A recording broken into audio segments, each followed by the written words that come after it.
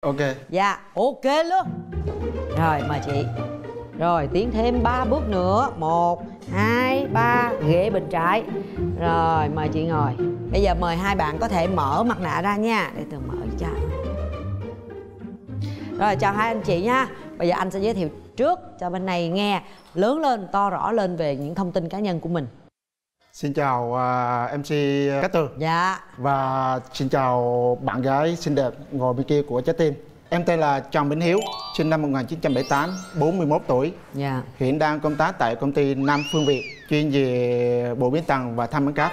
À, mình phụ trách bên cái mảng kỹ thuật kỹ sư bảo trì điện về điện tử. À rồi quê mình là ở đâu Ừm, quê mình ở Quảng Nam. Vào trong nam này lâu chưa? À, mình được sinh ra và lớn lên tại mảnh đất uh, Man Tây Bắc vậy là quê ngoài kia thôi. Nhà mình đông anh chị em không? Nhà mình có 6 anh chị em tất cả đều được lập gia đình hết rồi. Còn một mình ơn mình thôi. Mình là thứ À, mấy? mình là kế út. Dạ thì mình cũng có một lần đã lập gia đình nhưng rồi cái đó dạ. chút xíu nữa chia sẻ sau. Tới đó thôi cái đã. Rồi mời bên đây. Em xin chào chị Cát Tường và chào bạn trai. Em tên là Nguyễn Thị Khuyên. Nguyễn thị gì Dạ, Nguyễn Thị Khuyên. khuyên Dạ. khuyên bảo á Dạ. dạ nguyễn thị khuyên Hiện tại thì em đang à, sống và làm việc ở Bình Phước. Còn quê của em thì ở Thừa Thiên Huế. Mình vào bình phước lâu mau rồi Dạ, em à, vào Bình Phước cũng à, khá lâu rồi. Bộ hơn 4 tuổi là em đã theo ba vào đây rồi. ừ, mà bình phước là ở khúc nào Dạ, Bình Phước là em ở thị xã Phước Long à, là cái nơi mà về Phước Long xây chiến thắng cuối cùng ạ. à rồi mình đang làm công việc gì ở đó Dạ, hiện tại em là giáo viên tiểu học ở trường tiểu học Phan Bội Châu mình đang sống với ai Dạ, hiện tại thì em sống cùng với ba mẹ. coi như là cũng vào trong này hết ba mẹ vào trong đây hết rồi rồi bây giờ trước mắt là thấy một người là ở thành phố một người ở bình phước thấy Dạ. có gì bất ổn không? Dạ cũng không có vấn đề gì. Có điều kiện mình sẽ xuống đó thường xuyên. Thường xuyên Dạ. ha. Điều kiện có hay không là do mình tự tạo. Dạ. À, năm nay là uyên mà khuyên bao nhiêu tuổi? Dạ em à, là sinh năm 82 là bây giờ là bắt đầu là 38 tuổi. 82 là 38 rồi ha 38 bên đây 41 Dạ. à, tuổi là cũng đẹp với nhau rồi đó. Mình sẽ giới thiệu chút xíu về cái um, cá nhân của mình. Có những cái điểm mạnh gì điểm yếu gì? Rồi mời em thì điểm mạnh của em thì là người sống hòa đồng thích chia sẻ biết chơi nhiều môn thể thao. Ừ, ví dụ? À, ví dụ như bóng đá cầu lông bóng bàn bơi lội. Ừ. à, trừ cái môn khiêu vũ thì mình chưa tham gia thôi. Ngoài ra thì đặc biệt là mình có à, điểm mạnh đó là hơn nữa đó là không có thuốc không uống rượu bia thì có chút chút.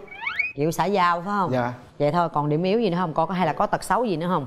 À, điểm yếu thì hơi nóng tính thì hay nói thẳng. Vậy tốt thôi thật ra là nói thẳng thì tốt còn nóng tính thì mình kiềm chế lại chút xíu ha. Rồi thế còn khuyên điểm mạnh điểm yếu mình là gì? Dạ điểm mạnh của em là năng động rồi cũng thích đi du lịch rồi nấu ăn dọn dẹp nhà cửa.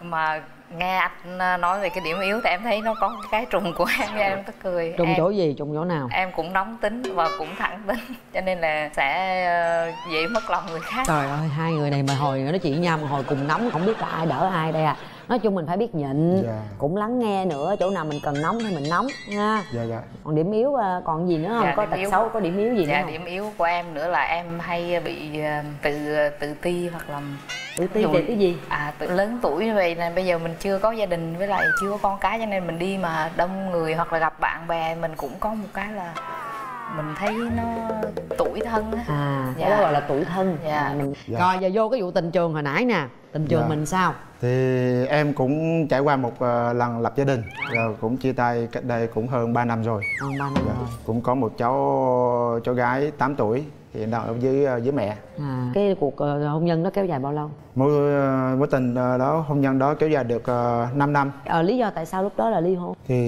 nhiều lúc lý do là bất đồng về cách sống với nhau cũng như ít chia sẻ ờ, quan tâm với nhau thì dẫn đến tình trạng đó. Không cứu vãn được hả? Dạ mình cũng ráng cứu vãn nhưng mà một bên cứu vãn thì một bên kia thì không thì thôi thì đã như vậy thì em ra đi thôi. Ừ. thì cũng buồn ha. Rồi ba năm nay thì mình có cái mối quan hệ nào khác nữa không? Ừ, ba năm nay vẫn chưa ờ, chưa có mối quan hệ nào khác. Do một phần thì tập trung lo cho công việc hai nữa là cũng lại lo bù đắp cho những cái bé nó không có cha bên cạnh. Ừ. rồi bây giờ thì mình ờ, quyết định là tìm một đối tượng để lập gia đình. Dạ. Nếu được thì bao lâu mình tiến tới hôn nhân được? Ừ, nếu được thì cuối năm sau mình sẽ tiến tới. Dạ. Rồi còn bên mình thì sao ạ? Tình trường của mình là như thế nào? Dạ, em lập gia đình ờ, được 6 năm thì ờ, sau đó thì ờ, không hợp nữa, cho nên là chia tay. Hiện tại em chia tay cũng là hơn 8 năm rồi. là coi như lập gia đình 6 năm, Sáu năm. rồi chia tay 8 năm luôn rồi Dạ, là coi như hết 14 năm rồi đó phí hết tuổi xuân. Ồ, 6 năm rồi mình có cháu nào chưa Dạ em chưa. lúc đó sẽ là do ngừa hay do không có hay Dạ không thế ờ, lúc đó ảnh cũng có vấn đề cho nên là cũng có chạy chữa nhưng mà sau đó thì ờ, ảnh có một người khác thì em thì ờ, em cũng không thể nào mình như người khác mà có thể là ờ, ở đây đập gan hay này kia. Em cũng có đi ờ, gọi là đi xem để gọi là có bằng chứng. Và sau đó em nghĩ nếu mà chuyện tình cảm mà nó không còn thì thôi mình tốt nhất là nên chia tay chứ em không thích là phải van xin hay là níu kéo. Nhưng mà khẳng định chắc chắn là người ta có người thứ ba. Dạ có mà sau khi đó thì công khai rõ rồi à sau khi chia tay với em Dạ. thì công khai luôn. Dạ.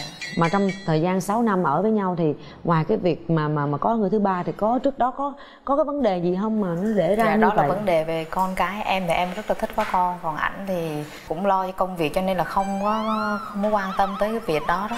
Còn em thì cứ tẩm bổ rồi là nấu thuốc mà cứ mỗi lần vậy mà ví dụ ảnh nhậu vô một cái là nó không có đạt những cái cái mà yêu cầu. Nấu là nấu cho ảnh hay nấu Dạ, cho em? nấu cho ảnh. à có nghĩa là ảnh là không có về sức khỏe không có tốt. Dạ. và có đi khám bác sĩ Dạ, có đi có điều trị không mà người ta nói là do phía ảnh. Dạ. Rồi sau 8 năm nay sao để chi lâu vậy? Muốn có con thì mình phải kiếm chồng chồng khác để mình sanh nở cho nó kịp thời chứ sao để lâu Dạ, thì vậy? em cũng kiếm tìm nhưng mà thời gian ví dụ em đi dạy là em dạy sáng chiều và tối thì ờ, ở nhà chỉ có cách là à, tối mà em muốn cho tiêu khiển riêng cho mình ví dụ em đi tập yoga hay là tập gym thôi. Chứ còn nếu mà không đi đâu nữa là ở nhà. Còn mà bạn bè cùng với lứa tuổi của em thì bây giờ là có gia đình hết rồi người ta an phận hết rồi cũng khổ quá ha.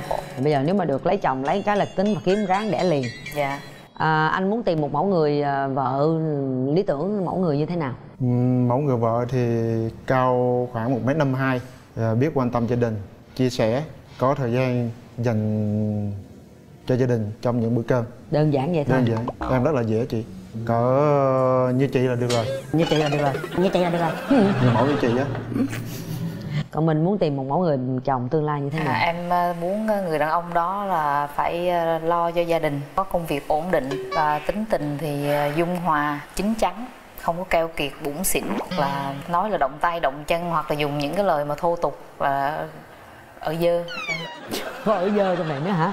Rồi sau đây mình có ở dơ không dạ không có giờ chị ạ. Sao biết không ở dơ dạ chị có tới biết cái cách là chị test thử coi. Chị test thử coi. Trời ơi chị test chi chục mốt bạn gái em test vợ em test đi chút xíu thì chị cho cổ qua test trời ơi hình đông quá vậy làm sao người ta lựa được đây trời? Rồi kiếm đi ảnh ở chổng á cho một gợi ý cho cho người ta có thể tìm thấy mình coi nè. Trong tầng ở giữa. À rồi thôi tầng ở giữa à, tầng ở giữa có bốn anh này gán kiếm đi cưng. Rồi đâu chị coi hình em nè. Trời ơi hình này chắc thập niên hồi đó quá hả? Dạ năm chín tám trời ơi hai chục năm trước đưa dạ hình cái đó quý lắm đó chị. Rồi cho ta gợi đặc điểm gợi ý ta nhận dạng coi nè. Rồi tôi nhìn vậy tôi còn không biết luôn. 20 năm trước. Trời ơi. Trời. Lúc này chưa có chồng luôn. Chưa chồng luôn lúc đó còn con gái phải không? Chưa chồng luôn. Có đặc điểm gì cho người ta nhận dạng coi vậy sao người ta nhận ra được trời? Em mắc ờ, một mí mắc mí rồi kiếm đi. Rồi. Hai chục năm trước mắc một mí. Cái này.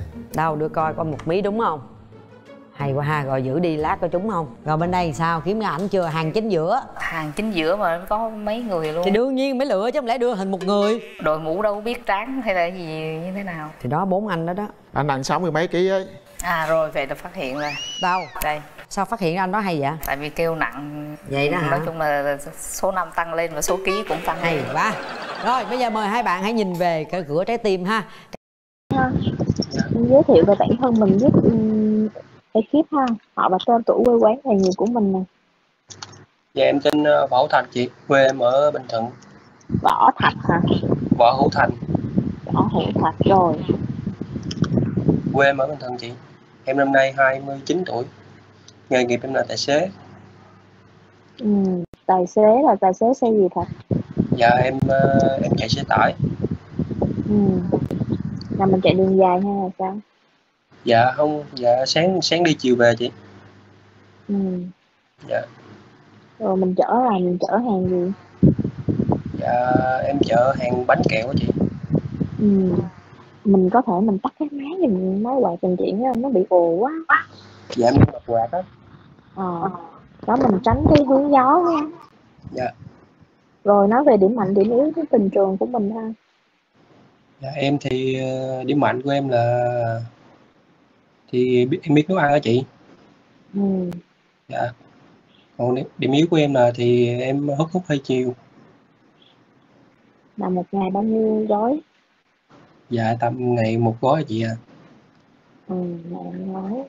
Rồi ngoài ra mình có tài lẻ sở trường gì không? Ca hát thì sao à dạ em cũng biết hát cũng ít thôi chị à rồi hát chút ít thì hát cho chị hát tặng cho chị xíu nè.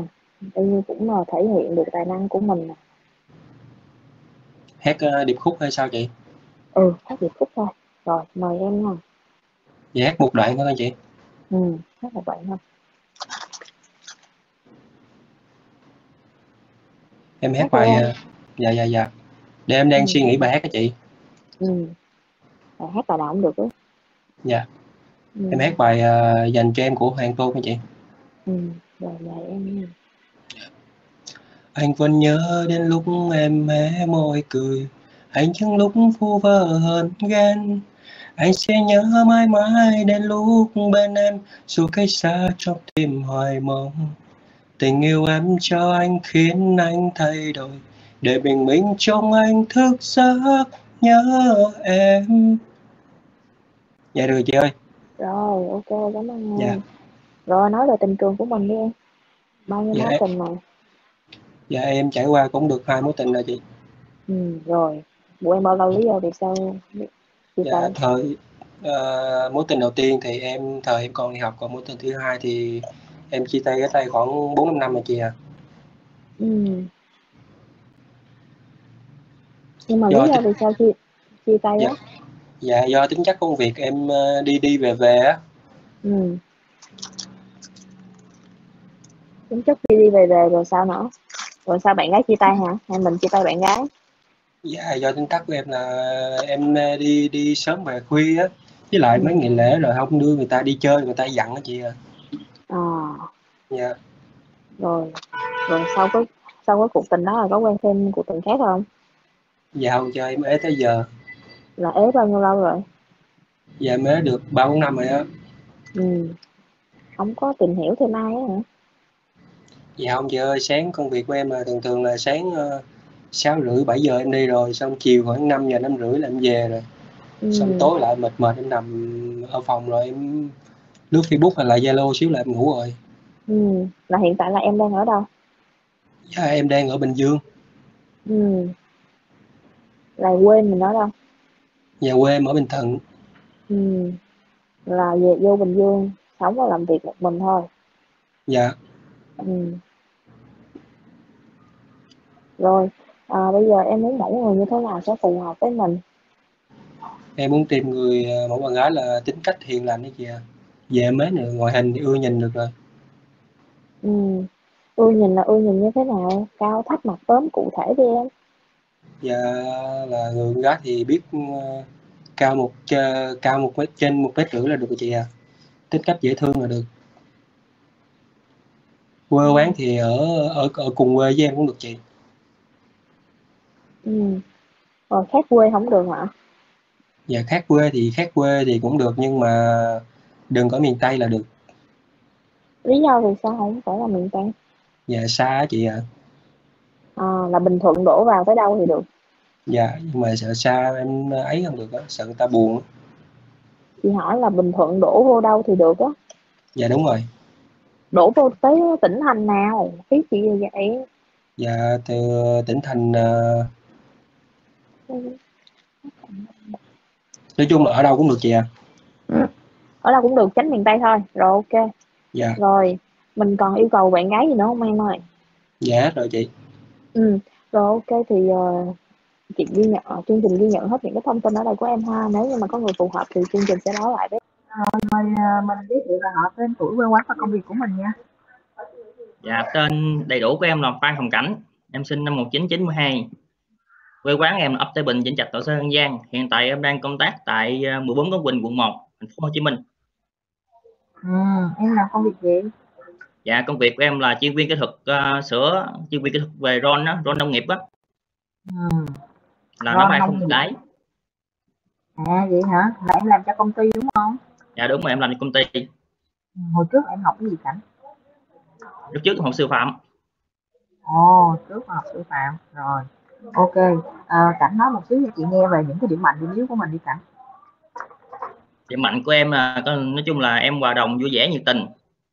Còn cái điểm yếu của em là một vấn đề nào đó mà nhắc lại hai ba lần em trả lời chừng nhiều lần quá em sẽ cáo. Có nhiêu thôi. Em có cái à, tài năng hay tài lẻ sở thích gì không? Dạ em nghe không rõ ạ. Em có cái tài lẻ hay là cái sở thích gì đặc biệt không?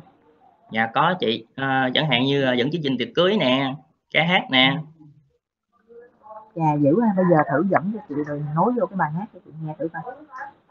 chị thích nghe bài nào chị vì cũng được cho chị dễ đó. à Ừ. thì kính thưa toàn thể quý vị xin mời quý vị cùng lắng nghe một giọng hát rất là truyền cảm và cũng rất là hay của một ca sĩ đến từ đâu đó với một sáng tác rất là nổi tiếng và rất kênh trên YouTube hiện nay được triệu view của một sáng tác của Đông Thiên Đức với ca khúc được mang tên tất cả hoặc không là gì cả Xin chào bảo tay thật to được không quý vị Rồi ok, dạ Đơn giản. dữ. dạ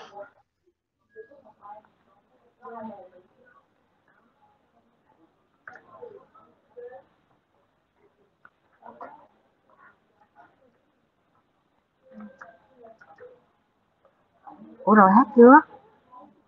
ủa em bắt em luôn hát luôn hả chị? Ơi, À, không em tưởng là chưa hát. À, em xin hát một đoạn thôi nha. Ừ. tại vì hát chay à, hát cũng à, không có sung lắm. Ừ. cuối cùng thì mình gọi nhau là gì? Là bên đỗ hay là chăm sừng nghỉ? Tình có lúc thật đôi lúc không thật. Có năm em được đâu mà mơ được không chị? Được không chị Ok á, vui á, được. dạ, Tự tin vậy chị, chị thấy được. Rồi à, trước giờ tình trường sao? Trải qua mấy mối tình quen bao lâu sao chia tay kể chị nghe coi.